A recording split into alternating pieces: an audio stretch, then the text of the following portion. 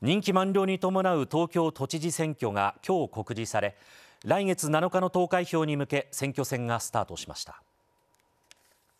大目標それは世界で一番の都市東京の確立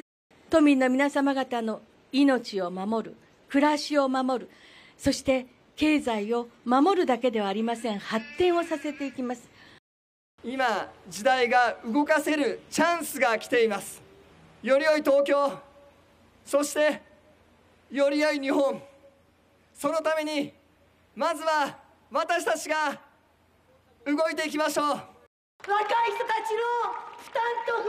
を取り除きたい。もう一つは本物の行政改革をぜひ私に担わせていただきたいと思っております。今回の都知事選は参戦を目指す小池知事や前参議院議員の蓮舫氏広島県安芸高田市の前市長石丸伸二氏らこれまでに過去最多となる50人以上が立候補しています。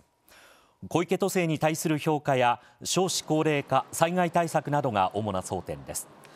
自民公明国民民主党都連などが小池氏の支援に回り立憲民主共産社民の各党が蓮舫氏を支援する方針です。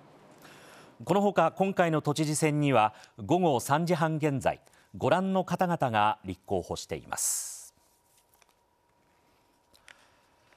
こうした中都の選挙管理委員会はポスター掲示板の枠が足りなくなったことから49番目以降に届け出た候補者にアクリル板を支給し各自で増設するよう要請しました。